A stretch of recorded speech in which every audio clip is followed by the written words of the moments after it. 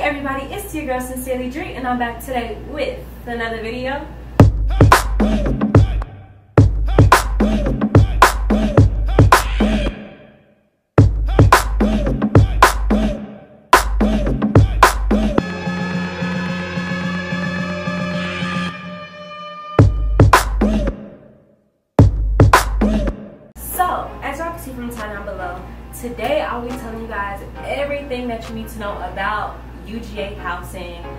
Tell y'all basically the types of housing today, just a general overview. UGA can be very confusing with housing, just knowing where to live, what different types of living is everywhere.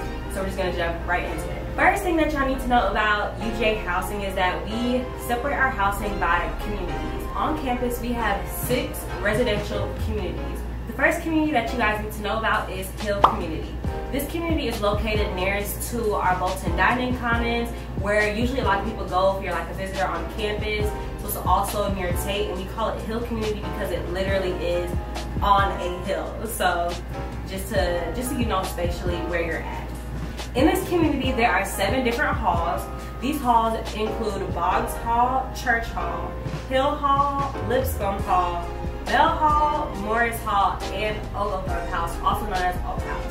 So now I'm to break down into each hall and what each hall offers for students on campus. So let's start off with Boggs Hall. Boggs Hall is four floors. There's no elevator in this hall, so just make sure you know that for housing. I believe in these halls for housing, they do put ramps on the stairwell so that you can like move all your stuff up and down, but that is a big thing to know when you're moving in. And just if you have any family who needs wheelchair accessibility, it's going to be very hard in these buildings because there's no elevator. Unless you live on the first floor, then of course you should be fine. This is a co-ed hall. And the beds that you will have in this hall are going to be twin size beds. They may be twin extra long as well, but there isn't that big of a difference. And each room will have two people in the room. And there will be a sink inside of your room, which is a really big thing because a lot of other places don't have sinks. But you will have a sink inside of your room if you want to like brush your teeth, wash your face, wash your hands, anything like that. But you will also have community style bathrooms. So your bathroom won't be in your room, you'll be sharing a bathroom with the other people on the hall. And this hall is also only for first years.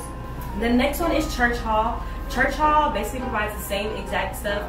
Four floors, no elevator, co-ed, twin bedding, two people, a sink, and community bathrooms. Hill Hall is the same exact thing. Four floors, no elevator, co-ed, twin beds, two people, a sink, community bathroom. But the only thing is that Hill Hall is only girls, so it's a female only dorm. Lipscomb Hall is literally the same exact thing, but that is a co-ed dorm as well. The same as with and Church Hall. Lipscomb is the exact same, but it's co-ed. And if you see me looking down, it's because I'm looking down at my notes. And then Mell Hall is the exact same, so same rundown list. Morris Hall is also the exact same. And just to go back over all of these, Boggs, Church, Hill, Lipscomb, Mell, and Morris have four floors, no elevator, they're co-ed, twin beds, two people in a room, a sink, and community bathrooms. And they are all first year only, besides the RAs, of course. The only difference is that Hill Hall is only for girls. Now, on to the last one in Hill community. That will be O House, Oglethorpe House. Oglethorpe House is next to a dining commons that's called Oglethorpe Dining Commons or O House. Oglethorpe House is a high rise. A high rise just means that there are more levels to it than the other ones. So Oglethorpe House or O House has nine floors. There is an elevator. It's co-ed. Your beds will be twin size beds. There will be two people in the room. You will have a sink and you will also have a private bath. So that's kind of the plus to living in O House. Although you do have a roommate inside the same room as you, you have a private bath. So, and O House is also not for one year students, it's for everybody on campus. So you can have first years through fourth years, fifth years, whatever in O House. Now that's everything that you guys need to know about Hill Community. On to the next one, let's talk about Myers Community. Myers Community has four halls in it. You have Mary Lyndon, Myers, Rutherford, and Soule Hall. I think I'm saying that right, Soule Hall. So Myers community is basically in what I like to call Central Campus, but it's not what they call Central Campus. It's next to Stegeman Coliseum and Snelling Dining Commons, and it's also near most of the science classes as well. So Mary Lyndon has three floors. There is an elevator. It is co-ed. You will have twin beds. Two people will be living in the room. You will have a community bath, so everybody will be sharing the same bathroom. And this hall also houses the French and Spanish language communities. So most people be most people who live in there will be speaking French and Spanish. I'm not sure if it's just for people who are that's their native tongue or if it's for people who are learning as well. But they encourage talking with other people in those other languages if that's something that you're interested in. Then Myers Hall has four floors. There's an elevator. It's co-ed. You will have twin beds. There'll be two people in the room. It will. It's also community bath the same exact way. But Myers Hall houses are honors community. You do not have to be honors to live there, but most of the people living there, it's open to honors students. Then you'll have Rutherford Hall. It's basically the same exact thing as Myers. The only difference is that you will have an in-room sink and a private bath. That's kind of the plus to living in Rutherford Hall. And Rutherford Hall houses the Franklin Residential College. So you can look that up online if that's something that you're interested in. Those people are housed there as well. And Mary Lyndon Myers and Rutherford all come together and in the middle there will be Myers Quad, which a lot of people like to study at, play frisbee, any sort of things like that. So you see a lot of people out there during the day. Then on the other side of the street will be Soule Hall. Soule Hall has three floors. There's no elevator. It's an all-female dorm. Um, you will be living in either doubles or singles. You can be with someone or by yourself with a private bath or a shared bath. So it's a little bit more flexibility with living there, but it is an all-female dorm. But it basically follows the same thing as everything else in Myers. Now on to East Campus Village. You see a lot more athletes over here because we are near the intramural field, we are near the rec center, we are near their training facilities. So this side of campus is a little bit more different. Over here on this side, you also have Snelling Dining Commons that's close to us, as well as intramural fields, as I said before. And we are also near the fine arts buildings and all of that. East Campus Village has five different halls and you can also call it ECV, that's what a lot of us call it. So the main halls, there are four main halls that all come together to create the ECV quad. You will have Busby, McWhorter, Rooker, and Vanderbilt. All of these basically follow the same floor plan. There's just some buildings that have maybe one more floor than others, but they're all basically the same. You'll be in kind of apartment style living, you don't have a stove or an oven or like a dishwasher, but everything else is basically kind of apartment style living. And over here, you do have the elevator. It's co-ed. You can have twin beds. The twin beds will be mainly for freshmen who have two beds in one room, or you would have a full bed, or you would have a full bed. Freshmen can also have full beds, but it just depends on what housing you decide to get. If you're in an expanded room, then you would have two twin beds in one room compared to just being in a regular room where you'll just have a full bed in that whole room to yourself. And you can have a private bath as well. So my room, I have a private bath. If you're in a room with two people, you may have a private bath. And there are some other rooms that are set up to where there are four people in the room and two baths, so the baths are outside the room, but it's still your private bath. You're just sharing it with your roommates. So that is that. And all of these buildings are open to all four years and it stays open during the spring and winter breaks, which I did want to note for anybody who does need to stay over the spring and winter breaks, these do stay open. Then we have building 1516, which is still in the same area, but it's kind of behind McWhorter and Vanderbilt. It's kind of on the back, closest to the highway if like you're driving past. And building 1516, it has five floors. It has an elevator. It's co-ed. There are two people in the rooms with twin size beds.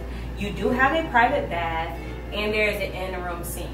The difference from building 1516 compared to everything else is building 1516 is more hotel style. So in a normal year, you will have maintenance staff that usually comes in to clean your bathrooms for you, I think once a week, which is pretty cool. So it's kind of like a hotel living. It basically really looks like a hotel. The only difference is that there are stairs on the outside. It looks really cool. But that's what building 1516 is. Just think of it as being hotel type style. Then the next three buildings I'm going to name, they're not a part of any community, but this is basically where many freshmen stay on campus. These are our popular high rises that everybody loves to be in, which is Brumby Hall, Creswell Hall, and Russell Hall.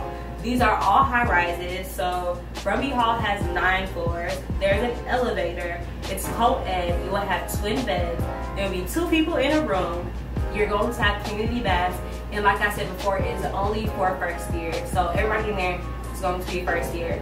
Then Creswell Hall is also the same. It has nine floors, elevator, all of that, co-ed, twin bed, two people in a room, community bath, and it's only for first years. Creswell also has a living learning community for people who are interested in entrepreneurship, whether you have done it or haven't done it or just want to learn more about it. It's called Launchpad. If you want to know more information about that, just comment down below. I was a part of that community last year as a freshman. It was pretty cool. So if you want to know more information about getting into the entrepreneurship sort of field on campus, just let me know and I'll plug you in with the right folks.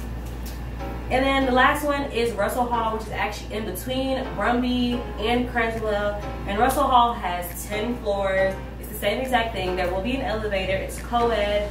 You'll be in twin size beds. There are two people in a room and it's community style bath as well and first year only. And the difference with Russell Hall is that Russell Hall houses our freshman college experience, which is basically when you're able to come before school and take classes in the summer before school starts just to get a little bit more comfortable and used to campus. Now on to our next community. This is Reed Community. Reed Community is located nearest to Stegeman Coliseum and next to our psychology and journalism departments as well as the main part of campus which is the Tate center and the MLC center. So you're basically kind of within everything but still kind of away from everything. So Reed Community stays Reed Community also stays open for the spring and the winter breaks if you wanted to know as well. So that's a pretty cool thing as well if you want to stay for the winter and spring breaks if you need to stay. These are some buildings that you might want to look into getting. There are two buildings here. We have Tate Hall and Reed Hall. Payne Hall has three floors. There are no elevators in this building. It's co-ed. You have twin beds. There are two people in a room and it's community style bathrooms. So everybody on the hall is sharing the same bathroom. Then Reed Hall is kind of the same exact thing. You will have three floors, but there are elevators in Reed Hall. It's co-ed. There's two people in a room. You will have a sink in your room and you'll have a private bath as well. So that's also a pretty cool thing with Reed Hall. It's kind of just small differences, but not too big. And their Payne Hall and Reed Hall are right next to each other as well.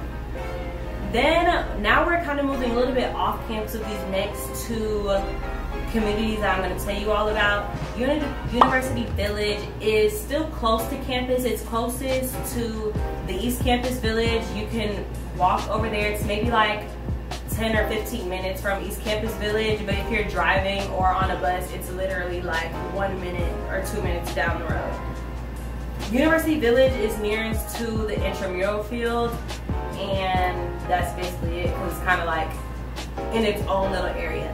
University Village is more of apartment style living, like legitimate apartment style living. Let's call it motel, but it's not motel in the way that there are stairs on the outside of the building and then it's apartment style on the inside. So in these buildings, you will have a stove, an oven, a refrigerator, and a dishwasher, as well as rooms and private bathrooms.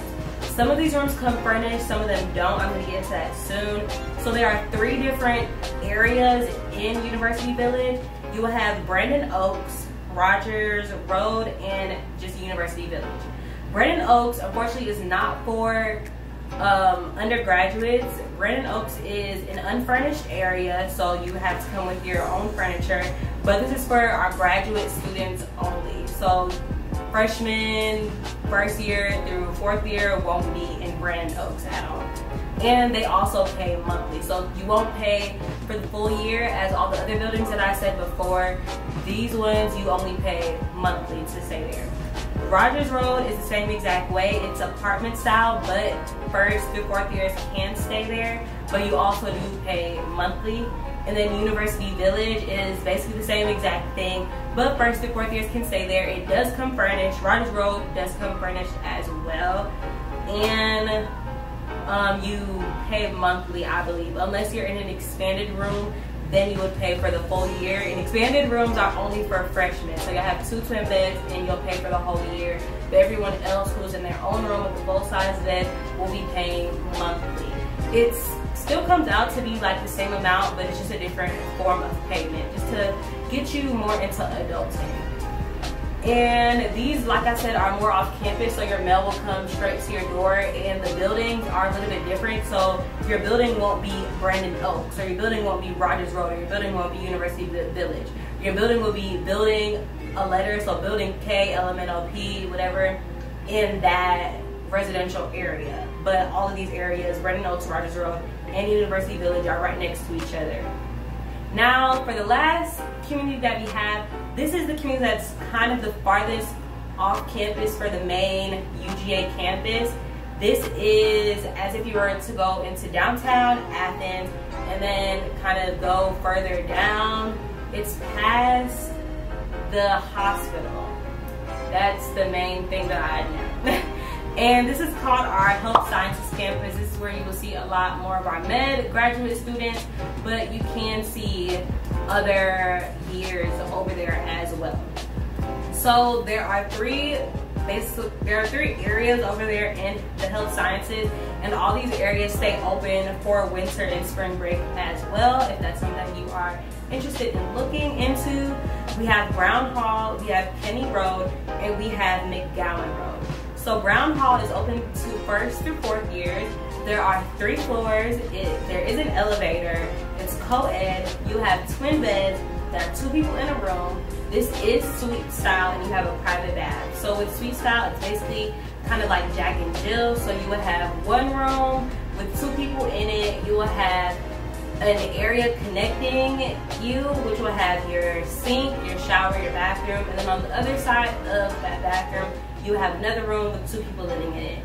So you'll have suite mates in this area. And then you have Kenny Road and McGowan Road, which are basically kind of the same, but these are townhouse style. So it's a little bit different, does come furnished. And these places are mainly for visitors, graduate students, or for our medical partnership students. So it's not really for undergraduate students, so you don't really have to worry about that unless you are looking into going there for grad school. But that is all our housing communities on campus. If you want to go back and look through the video, just in case I talked a little bit too fast, taking notes that you need to, you can find that there. Or if you need any other information about this, you can go to UGA University Housing's website and all of this information is on there. If this video was helpful for you, make sure you hit the like button right now and comment down below any other ideas that you guys have for me. And also make sure you follow me on Instagram at I am just to stay more in tune and updated with me. I post way more often on there because you know, Instagram. And remember that I love you guys so much. And my name is Sincerely Dre and I'll see y'all in the next video. Bye.